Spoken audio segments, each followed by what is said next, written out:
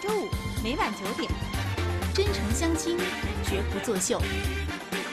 欢迎拨打热线电话六八六幺五八六八。欢迎有喜，我们等你。他是自营药店的小老板，想给药店找个老板娘，想找个女孩女孩子共同军援。两位女生都对他印象不错，石大的话还可以吧？觉得第一印象很好。而他究竟对谁印象更好？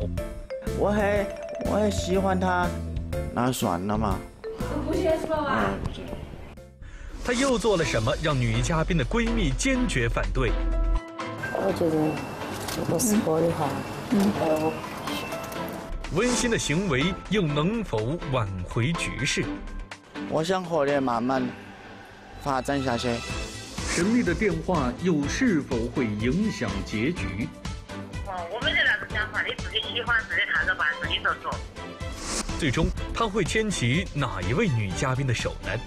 凡人有喜即将为您精彩呈现。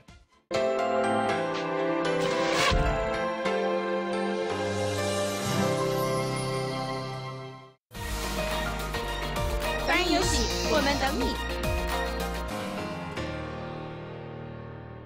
轻靠争取，无爱不放弃。大家好，这里是凡人有喜，我是相亲特派员于翰。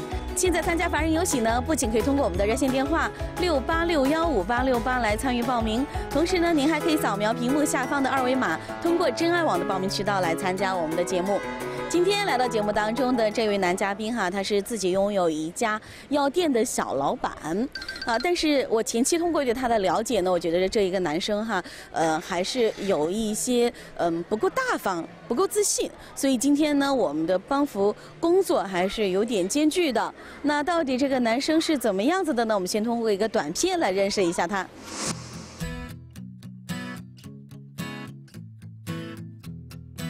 大家好，我叫陈岩，很高兴再一次来到凡人游戏。三十三岁，立业，无小孩。我是江北区关桥本地人，自营药店，收入五千。本期就有男嘉宾陈银，三十三岁，身高一米七二，职业自营药店，月薪五千左右，婚姻状况离异，无小孩。不知道大家是否对这位陈先生还有印象？陈先生一年多以前曾经参加过凡人游戏，当时我们为他物色到了一位单亲妈妈，两人私下进展还不错。可为何陈先生又再次来到凡人游戏了呢？上一次在凡人游戏，嗯，认识了个女孩，她是她是有小孩的，但是我接触下来，我不能接受有小孩的。哦，因为男嘉宾不能接受女嘉宾的小孩跟着自己，所以两人最终没能走到一起。而这次来凡人有喜，他的择偶要求也发生了变化。我对女嘉宾的要求是善良、能干、孝顺，嗯，三十二岁以下，嗯，离异，嗯，无小孩的。综合来看，陈先生的择偶要求是：一，可以接受离异但无小孩的；二，年龄三十二岁以下；三，能干、孝顺父母。各位观众，晚上好，欢迎收看今晚的《凡人有喜》，我是真爱网关桥店情感顾问飞涛。我们的男嘉宾是第二次来到我们的节目当中了。啊，上次牵手之后呢，呃，跟女嘉宾相处，觉得还是不能接受对方的孩子。是的，有时候我们的牵手之后，在生活当中会发现，哎，那个人跟自己想的还是不一样。有时候就是要试错，在试错的过程当中，你才能够明白内心真正想要的伴侣是什么样子的。所以，男嘉宾再次来到节目当中呢，是希望找到一位。呃，伴侣不介意他有没有婚史，但是不要有小孩，希望他能够简单一点，跟自己过一种呃持家的生活。根据陈先生的要求，我们为他物色到了一位孝顺能干的女嘉宾孙小姐。可孙小姐为了见面要从涪陵赶来，于是我们决定去往男嘉宾的药店等候。好的，那现在呢，我是来到了男嘉宾自己家的这个药房门口哈，你给我介绍一下，我们聊一聊，好吧？来。平时店里都是你自己一个人在看吗？是的。啊，来，还摆的挺整齐的哈。现在生意怎么样？还可以。还可以。嗯。平常我经营药店，嗯，很个人经营药店很辛苦，想找个女孩女孩子共同经营。陈先生最大的愿望就是找到自己的另一半，共同经营药店。这么多年，他有遇到过合适的人选吗？接触了几个，一来都提提提车子票、房子，太现实了哎，太现实了不是不是不是一路人。但你知道这个相亲呐、特别现在这个时代哈，很多女孩儿就很在意这样的问题。药店是自己租的，房子我有，但是我现在是跟父母住到一起的，我的房子是租给别人的。哦，有的。就你的条件来说，其实还是可以了。男嘉宾提到一个点，我觉得非常有意思。他说：“不要物质的女生啊，有的女生一来什么房子、车子、票子，哎呀，好像听起来很很可怕的样子。呃，我现在经常听到一个话，就是男生都要求女生不物质。呃，那么这个不物质到底是一个什么样的标准？到底是怎么样的女生算物质女孩？怎么样的女生叫不物质的女孩？我觉得现在真的是没有一个标准的。但是我希望，啊、在这个社会当中，对女生的物质的要求哈，我觉得应该去多多的去了解对方到底是怎么样的一个女生，不要一提到房子、车子，好像就觉得哎，对方好像是一个洪水猛兽似的。有的情况还是要具体去考量。那么看一下我们今天编导为我们的男嘉宾找来的这位女嘉宾，到底物质不物质？就在特派员与男嘉宾聊天的时候，编导接到了女嘉宾的电话，她已经从涪陵赶到江北了。我们立刻去大街上迎接她。吗？哦。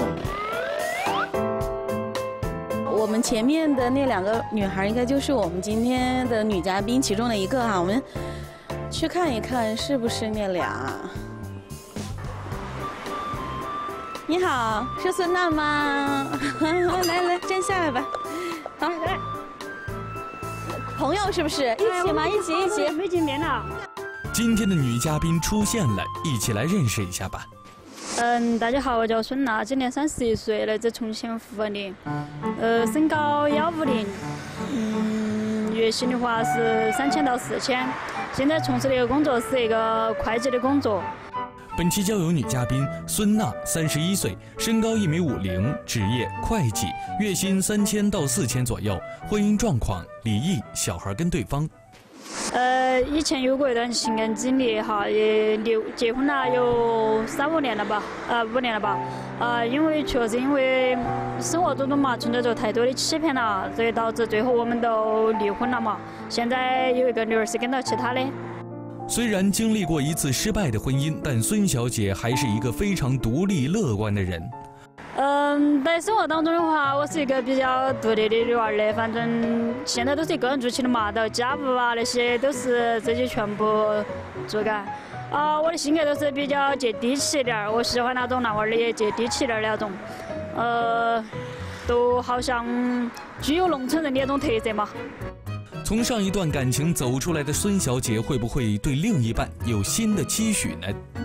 呃，现在我立一个择偶要求就是年龄大概在大我三到八岁之间嘛，到最好不超过十岁。呃，身高的话在一米六五到一米七二以下都应该可以能够接受。月薪的话，啊、四千以上嘛都可以。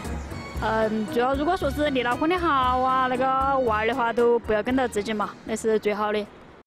综合来看，孙小姐的择偶要求是：一、年龄在三十四到四十之间；二、身高在一米六五到一米七二之间；三、月薪四千以上；四、可以接受离异但无小孩的。我们今天的女嘉宾，我可以说她自己希望找到的另一半的条件，跟我们的男嘉宾可以说是一模一样的。呃，男嘉宾比她大了呃三四岁，啊，然后自己呢有独立的一个事业在做，经济是很稳定的，有又有住房，而且也没有小孩，外形身高两个人可以说都是相当的般配。啊，女嘉宾呢也说自己生活是很独立的。啊、有一个孩子，但是也没在自己身边。两个人的这种择偶条件，可以说匹配度已经达到了百分之八十以上。那么见面之后，相亲是否会顺利呢？两人条件基本符合，匹配指数百分之八十，他们会在一开始就对彼此中意吗？呃，今天过来走了多久？呃，走路吗？坐车？不就一共花了多长时间？呃，四点半，四点半就开始冲了吧？现在差不多快三点了。啊，哇，走了好几个小时没。有，其实坐车子坐了个小时，然后轻轨坐了差不多来回坐了一个小时吧。哎，然后又中途又坐公交车啊，又蹬了一阵车啊。反正就是哎七七八八的哈。哎，有那行，因为男嘉宾已经等很久了哈，我们就不闲聊了，直接到他店里去看看哈，了解一下基本情况，好不好？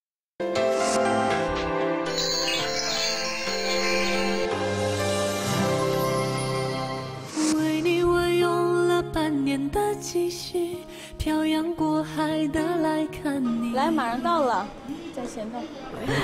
来，直接进来吧，直接进来。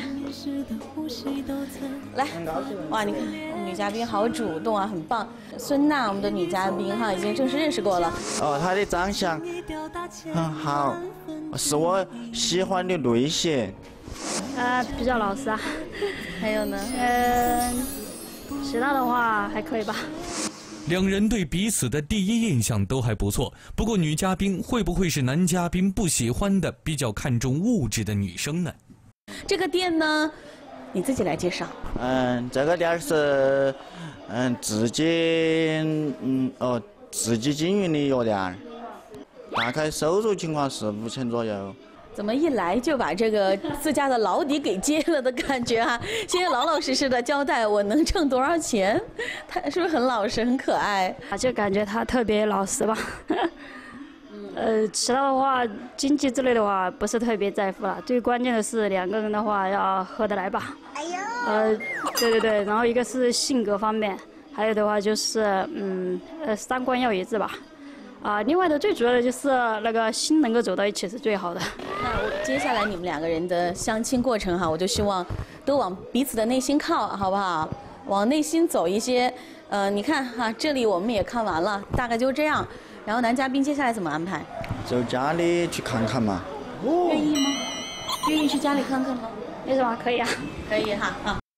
看来女嘉宾并不是看重物质的人，可就在我们要前往男嘉宾家里的时候，闺蜜却突然找到了特派员。我觉得他第一次就喊出她屋头去看，不大好吧？会不会太直接了？没有，他是很想就是说把自己的那个一些呃情况直接的展示给你，因为毕竟你们相亲也只有那么几个小时的时间，你也多了解一下，毕竟你是要找个人过日子的嘛。他父母没在家吧？没有没有没有，没有在。今天我们女嘉宾的亲友团非常有意思，在男嘉宾提出说到我们家坐坐的时候，竟然是亲友团的意见竟然是反对。通常来说，我们节目当中的亲友团都会很希望到对方的家里去看一看，因为你只要看到他的家庭情况、条件，甚至能够见到他的家人的话，你就能大概知道这个人的一个生活环境是怎么样的，到底跟你好不好相处，而不是他嘴上说的那些条件。我不知道亲友团为什么会做这样的一个决定，说哎呀不好得去他家里，有点奇特哈。在特派员的劝说下，闺蜜终于松口了。男嘉宾，你可要珍惜这一次机会啊！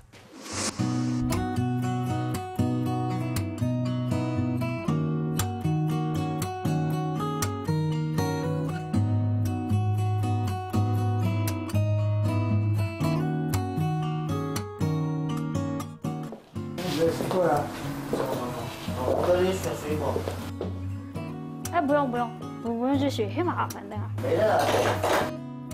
一进门，男嘉宾就主动给女嘉宾削水果，看来还不错嘛。接下来看你的喽。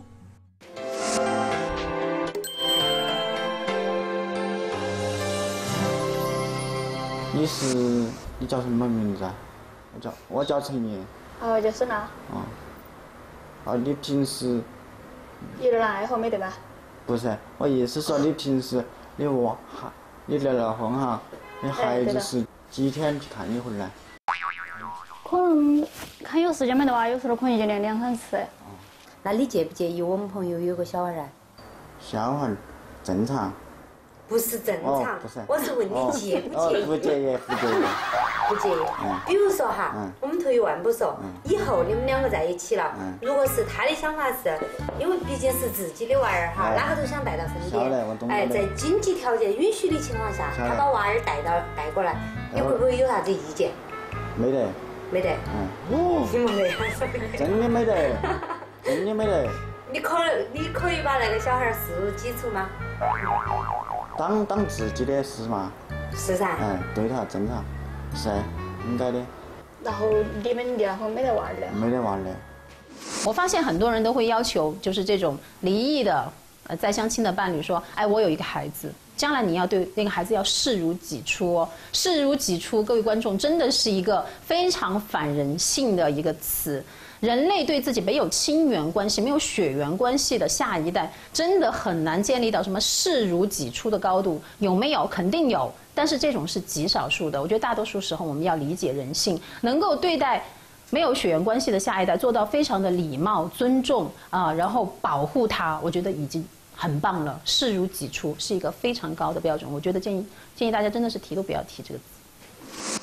看来男嘉宾对女嘉宾非常喜欢，连小孩都能够接受，可这气氛却有些尴尬。你也可以问噻，有哪想我的问题都可以问。你问一下嘛，还有哪些关心的问题都可以多问一下。为了打破尴尬的局面，闺蜜发问了。你妹妹相当于是她两室一厅。哎，两室一厅。你那边呢？我那边是一百二十八。要大些，也是两室一厅，客厅很大。你们那房子是自己买的吗？买的。是按揭买全款？全款。房子在哪个位置嘛？茶园那里。茶园。前面前面那个。哦，那边茶园啊？我以为南岸那个茶园呢。不是不是。荣景城那边。相当于就是说没得经济方面的压力的。没得没得没得。不好意思啊，那些肯定正常正常正常。了解一下。没得啥子，女女娃儿的一般都是要了解那些基本情况，没得。他不好意思，我问。没得关系。经济之类的话不是特别在乎了，最关键的是两个人的话要合得来吧。我对女嘉宾的印象很好，我想和她继续了解下去。闺蜜的问题让现场活络了起来，没想到下一个问题却又重新跌入谷底。我可不可以冒昧的问你一个问题啊？说啥。你，问了。没关系。你那个，你脚是不是？我脚呀，我脚是正常的。你是脚痛吗？不是。多久了？你说。不是不是，我晓得那些女娃的都都要说我那个脚 走路的姿势，我晓得。你说是个习惯问题吗？哎，我是习惯问题。哦。脚没得那种问题啊，哦，是习惯问题哈。不好意思。没得关系，没得关系。你以后可以尝试到稍微改变一下，改一下对头。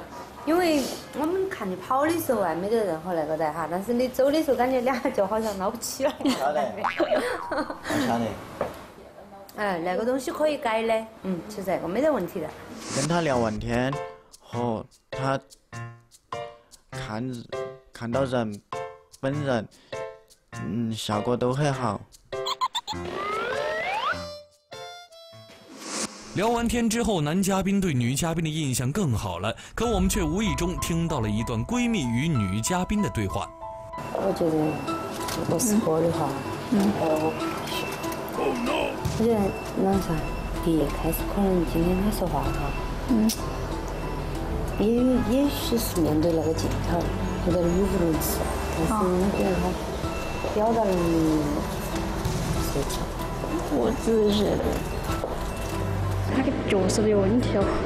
因为你晓得，我我又不是很在乎，注重的不是说他的房子，不是说他的药房嘿，每次你再有两套房子有啷个嘛？首先你要看，你要觉得人觉得我喜欢了，那个性格各方面，感觉一来都比比较聊得来呀，或者各方面了。你如果说那些不行的话，你其他些都不是很重点的问题嘛。那么在那上面收场嘛，他们好休息。女嘉宾竟然对男嘉宾不满意，我们只好派特派员出马了。我也是，我我就实话实说吧啊，不是怎么说呢，还是演员差了一点吧。你是觉得哪里欠缺了呢？就比如说从他说话的一些这种性格吧，能看得出一些性格。那你觉得他的性格是怎么样的？应该说就比较一种性格比较慢的一种人吧。你的性格应该是那种，呃，平时急有点急躁，而且呢，呃，做事情也是雷厉风行的那种人。哎，对对对，你不觉得正好互补吗？而且你们俩坐在一起，明显你较强势一些。感情的话，我觉得还是不能勉强自己。也如果一旦勉强的话，肯定最终害的不是自己，害的也是另外一个人。嗯，你特别有想法的一个女孩哈。我想问一下，那个你的朋友，来，你你其实看他们俩相处这么久哈，你觉得合适？啊，我不知道他今天说话是不是因为面对镜头的原因啊，但是我觉得他说话反正条理不是很清楚。他自己经营药店做老板，嗯，应该也会肯定有自己的强项，这是肯定的。对，那他要面对的是那么多的人，各种各样的那个顾客。也许是我们两个太过于太表面了，或者太急躁了，认识的。可能单从表表面看的话，我觉得他们两个确实不太合适。女嘉宾和闺蜜决绝的态度都很坚决，此时的男嘉宾是会选择放弃，还是放手一搏呢？因为我们知道哈，你其实对女嘉宾还是比较满意的，是吧？好，但是现在女嘉宾呢，包括她的闺蜜哈，对你其实其他都觉得你这人不错，哈，就有那么一点，就你性格的原因，太那个内向了，就是说话平时也是这样的吗？不是啊，下来不是，下来是反正跟其他那些隔壁邻居聊天儿。没得个那个。你想到有什么事情可以及时的调整现在的状态，然后把自己最自信、最大方的一面展示出来吗？啊。内敛木讷的男嘉宾会想到用怎样的方法来展示自己，挽回女嘉宾的心呢？我是爱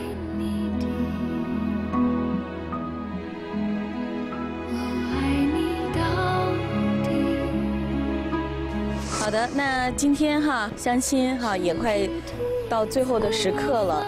那么在两个人做最后的决定之前呢，男嘉宾想通过自己的一个小的行动，来表达自己内心最真实的想法。我很高兴认识你，孙娜。我们，我们，我想和你慢慢发展下去，你愿意吗？我就接上你最后那句话，你愿意吗？其实大家看到哈，呃，这可能对很多人来说是一件很小的事情，但是呢，男嘉宾还是用心的在做。我来宣布一下最后选择的规则：男嘉宾把手伸出来，我数三二一之后，如果女嘉宾愿意选择牵手成功的话，就把你的手放在男嘉宾的手上；如果说不愿意的话，礼貌的离去就可以了。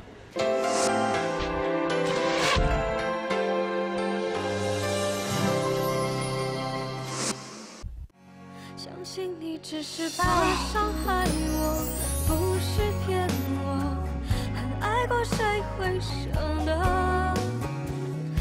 虽然呢，现在没有成功哈，但是一定不要气馁，好不好？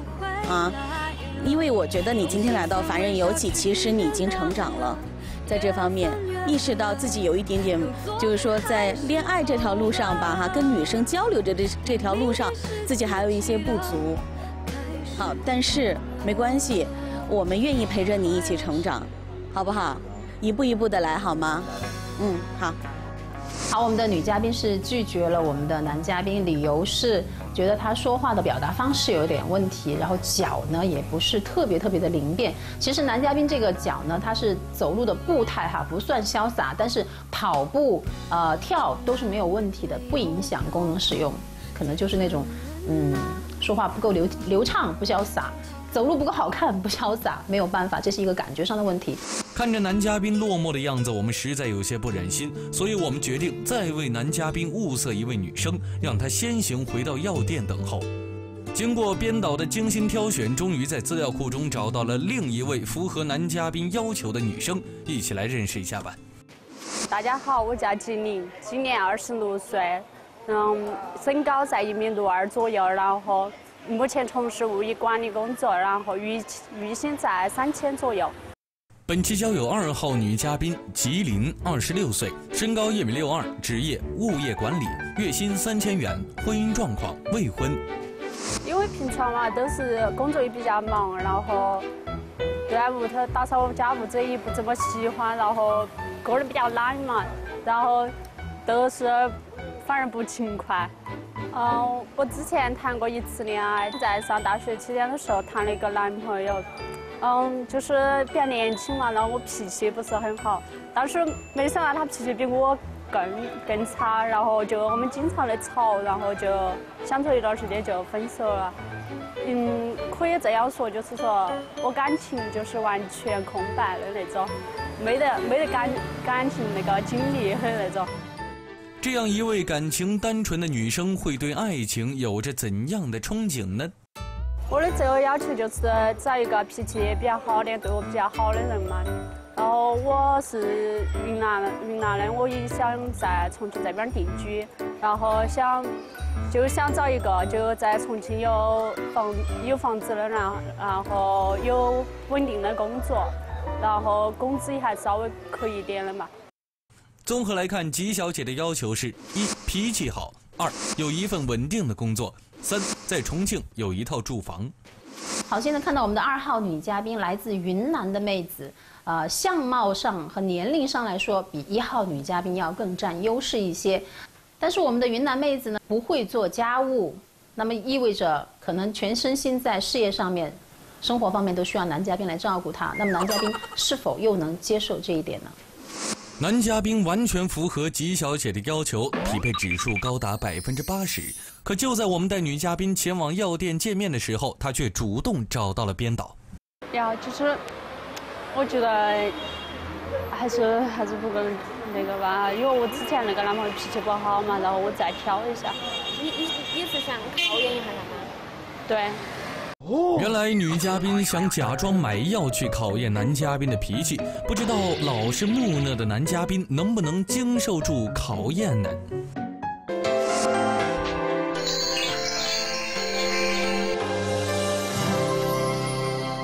能不能改有减肥药啊？减肥药没得。哦，那你们这里可以有治感冒的噻。感冒的，哪个感冒了嘛？喉咙痛了嘛？不痛噻，就是有点沙哑。含片嘛？含片啊，太苦了噻，找点甜的噻。甜的呀？嗯。效果咋个样哦？还可以。你吃过？确定你吃过吗？那个嘛，那个金嗓子含片嘛。哎呀，你你是一进来就给我推销了两种啊？我觉得不要了。说实话，那那个药嘛，它那种吃了对身体肯定是有害处的噻。是有害处嘛，但是。有效果噻！哎呦，那么多种类，你你让我咋个选择嘛？我给你推荐嘛。你给我推荐，真的是，推荐就是要 要钱噻。眼看情况有些不妙，编导出场了。已经到认出来了吗？我晓得是李嘉宾。晓得，你啷晓得的啊？做猜的噻。已经认出来了哈。哎，我晓得，顾客。顾客是上帝。啊，他对你脾气好不好嘛？怎么样嘛？咋样嘛？感觉？我感觉还是可以。不，主要是你也觉得他脾气怎么样？你刚刚不是想找一个脾气好的那种嘛？的确是。第二个女嘉宾要要主动些，要大方些，看得出来。第一个女嘉宾和第二个女嘉宾，我我还是觉得第二个女嘉宾适合我点。首先从第一印象看说，然后脾气还是挺好的，然后人比较温和，然后就一看就给人感觉很踏实，嗯，觉得第一印象很好。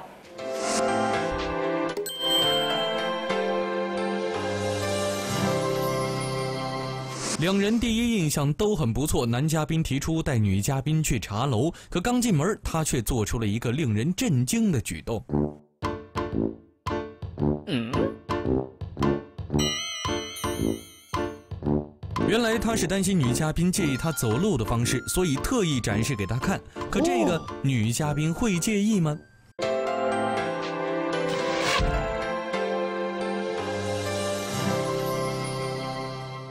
五月二十五日到五月二十九日，重庆都市频道瑞士名表展，浪琴、梅花、英纳格、范思哲、三度式、浪驰。怡宝路瑞士品牌直接让利，瑞士原装进口名表两三千就能买到。瑞士原装进口名表低至七百八十元，瑞士原装进口钻石机械表现价一千八百八十元，打进电话即送价值二百九十八元的钱包一个。活动热线零二三八六五六幺三五七。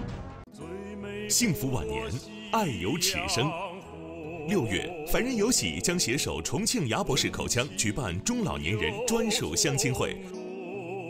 活动现场不仅有小红娘面对面给您牵线搭桥，更有情感专家为您现场助阵。报名成功就有机会获得重庆牙博士口腔提供的惊喜大礼。就在六月，让我们一起相依相伴吧。凡人有喜，相亲开始了。周一到周五每晚九点，真诚相亲，绝不作秀。欢迎拨打热线电话六八六幺五八六八。欢迎有喜，我们等你。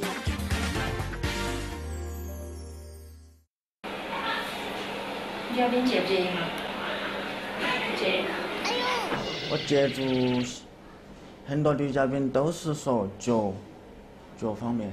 你没必要多介意，说是哦，你对你每一个来相亲的女嘉宾都说，哦，你介不介意我外形走路或者是怎么样的？没想到女嘉宾毫不介意，可没想到接下来她却嫌弃起了女嘉宾。家庭家庭中你平时收不收拾家务呀？是我很忙，然后我不，我应该说是收拾一个一次我就可以维持一个星期。我很反感洗，就做饭啊之类的，不洗，包括洗碗之类的我都不喜欢。然后平时如果说水果能够解决的，我就解，我就会吃水果，我都不会做饭。听说他不做家务，我不能接受。想想找一个做家务的女孩子，顾家点，那算了嘛。不接受了吧？刚才这个印象还好。你应该把你的真实想法，就是说我不能接受的那两点，都说我不能接受。我觉得那两点我可能内心来说接受起来有点困难。好，然后看女嘉宾啷个说，因为现在都不晓得女嘉宾，比如说人家也有可能哈，觉得呃为了喜欢的人我改变一下，或者说我的要求不是那个样子，我改变下我的要求，择偶择偶要求也是有可能的。你都没交流，突然一下你就个人断定了那个德行和不德行，我觉得那太唐突了。经过编导和特派员的一番劝说，男嘉宾终于决定再和女嘉宾接触一下。不在你不住厨房那块儿，可以我我把我全做都要得，但是你洗衣服、洗衣服那块儿和收拾收拾屋那块儿，洗衣服有洗衣机啊，然后丢进去就全自动，然后一次性，我还是可以把它晾起来的噻。我不可能说把它堆成一个一座小山这样。家家务活可以下来协商，我不介意了。哎呦！家务问题才刚解决，小孩的问题又出现了，真是一波未平一波又起呀、你也说了你是性格比较内那个内向腼腆的嘛，然后会不会有很多事情你都要听从你父母的意见？不得，我的个人问题是个人做主，那你父母不得干涉吗？哎，不干不干预。那你能接受就是一个和你结了婚之后五年之内不要小孩的人吗？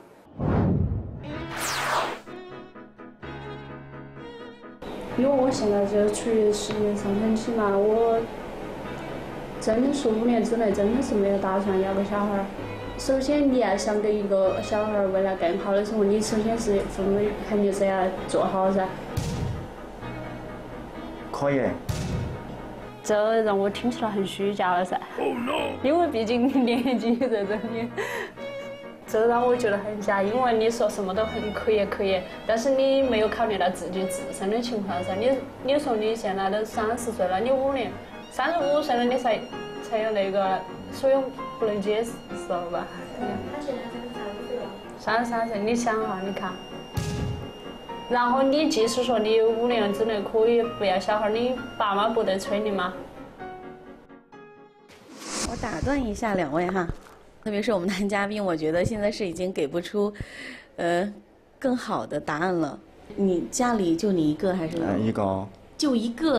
但是你父母肯定是，肯定是不同意噻。他现在三十三岁，他说他可以接受五年六年，就甚至是更长时间说不要小孩，让我觉得很装。说实话，在中国这种这种就是教育下嘛，他说不要小孩，真的是让我觉得不能接受吧。你你你觉得他只是只是故意跟你说一个能接受哈，但是到时候你们万一成了什么，他还跟你说不得行，反悔那种哈。对。男女嘉宾的交谈过程让人觉得有点焦虑，因为女嘉宾提出的任何问题，男嘉宾都说正常接受，那女嘉宾会觉得真的吗？真的那么正常吗？你真的都能接受吗？其实有时候觉得女人真的很难很难搞，是不是？呃，三十岁生小孩哈，呃，男嘉宾说正常，要得可以，啊，女嘉宾会说怎么可能？你都三十三岁了，你真的不着急吗？你就这么随便的答应我的要求，以后反悔怎么办？就觉得哎，这个男的的这个逻辑是不是不清楚？但是如果男嘉宾说我真的介意，我就是需要早点结婚，然后早点生小孩，你是不是又觉得这个男嘉宾不是自己要选的？所以女孩子有时候真的，我我觉得你们的那个标准答案到底是什么？可能你们自己心里都不一定清楚。但是男嘉宾呢，也确实在这个过程当中出现了自己的反复，也不是说今天的整个相亲过程就全是女生的主场哈，女生觉得好，男嘉宾就好，男女生不同意，男嘉宾就怎么样，他也有自己的想法的。当他听到女嘉宾说不做家务的时候，态度一下就变得很坚决，那我也不愿意相亲了，我不想娶一个没有不会做家务的人。呃，那么矛盾现在是已经产生了。今天的相亲最终结果会怎么样呢？会不会有机会反转呢？我们看一下。为了让女嘉宾安心，陈先生决定给妈妈打一个电话。喂，妈妈呀。嗯，有个问题想问下你。嗯，有个女嘉宾，嗯，他三十六岁，他二二二十六岁，嗯，她。他那个，我很我很喜欢他，但是他他那那几年不要小孩儿那那五年他不要小孩儿你是怎么想考？你是啷个想的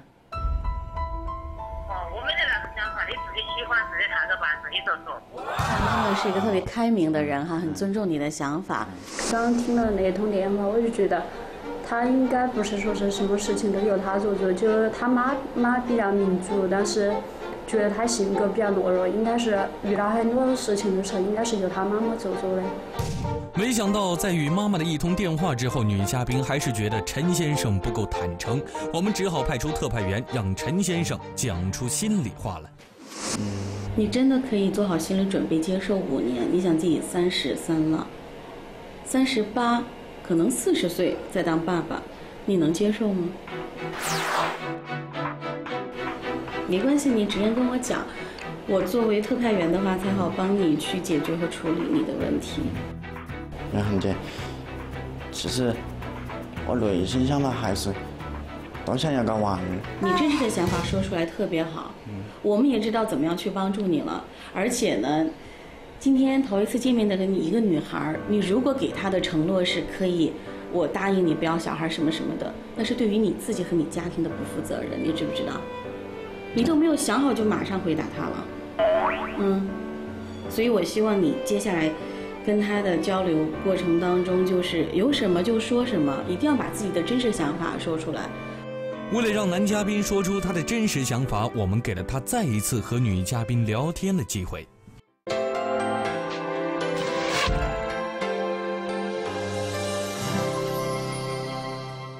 五月二十五日到五月二十九日，重庆都市频道瑞士名表展，浪琴、梅花、英纳格、范思哲、三度式、浪驰、怡宝路，瑞士品牌直接让利，瑞士原装进口名表，两三千就能买到。瑞士原装进口名表，低至七百八十元；瑞士原装进口钻石机械表，现价一千八百八十元，打进电话即送价值二百九十八元的钱包一个。活动热线零二三八六五六幺三五七。凡人有喜，相亲开始了。周一到周五每晚九点，真诚相亲，绝不作秀。欢迎拨打热线电话六八六幺五八六八。凡人有喜，我们等你。我刚刚有些话没跟你说清楚哈，你说你五年不要娃的，其实是不可能的。我还是个人的想法，还是想要一个自己的孩子，你能接受不？这些不是说既定的哈，嗯，但是如果说是，嗯，如果遇到了能遇到一个让我觉得能够放下心来的话，肯定说是会改变。但是我想问男嘉宾，你这个想法为什么那么快就转变了？那你之前说的话，岂不是说是没有没有考虑过，还是说是你是欺骗女嘉宾的哟？我开头真实想法是没说出来，请你谅解。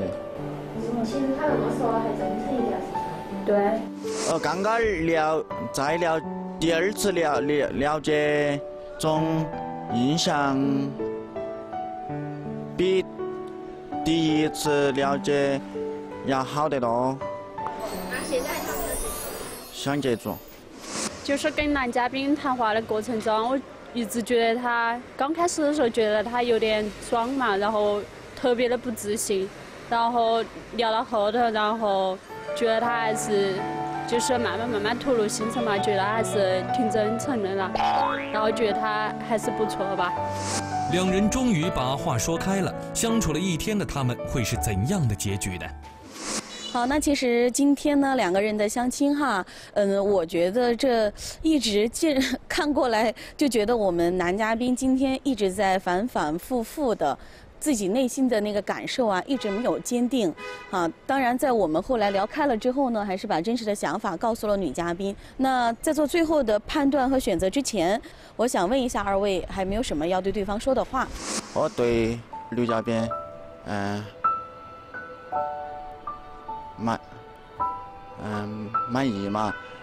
我们从朋友做起，慢慢发展。我觉得男嘉宾应该。要更自信一点吧。嗯嗯嗯嗯嗯。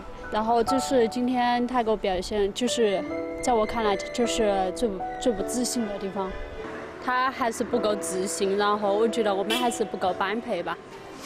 本以为误会解除了，没想到女嘉宾还是耿耿于怀。面对这样的情况，男嘉宾是会争取还是放弃呢？那好，我最后呢，呃，明确的问一下，就是最后做争取吗？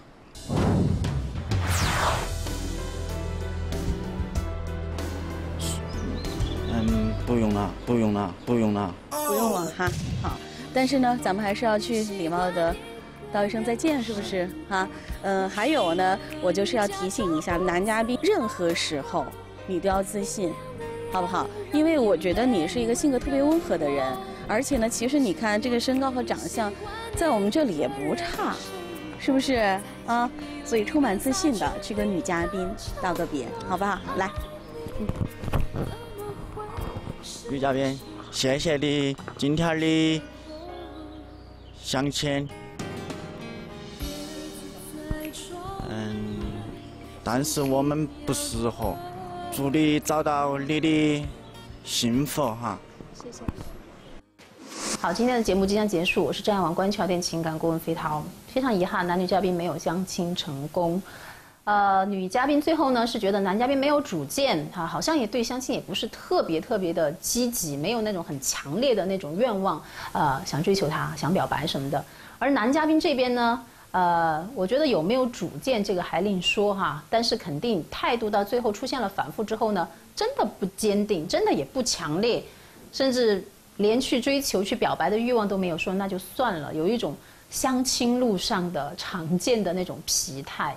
啊，可是男嘉宾，我也是很想告诉你，呃，目前看来哈，相亲之路真的很漫长，确实你可能还要等待很长时间才会遇到自己喜欢的人。在这个过程当中，我觉得可以练习一下自己表达的方式，可以练习一下走路的姿态。除此之外呢，对女生的要求自己心里也要罗列清楚，比如说做不做家务啊，什么时候生孩子呀，呃，对对方的另一半。呃，到底还有一些什么样的要求，你心里都要很清楚，这样才能避免你走更多的弯路。好，那今天我们也是费了一些苦心哈，为刘英准备了两个相亲对象过来相亲，但是最后很遗憾都没有相亲成功。其实，嗯，我不知道刘英在这个相亲的路上还要走多久，但是真心的还是祝福他。而且呢，呃，只要哈刘莹需要的话，我觉得这个弟弟是值得我们去帮助帮扶的。呃，那在这里我还是要为他打广告了。如果说电视机前有那么一位女生哈，愿意。接受现在的刘云的话，就可以赶紧跟我们凡人游戏取得联系。好，我们的热线电话是六八六幺五八六八。同时呢，您还可以扫描屏幕下方的二维码，通过真爱网的报名渠道来参加凡人游戏。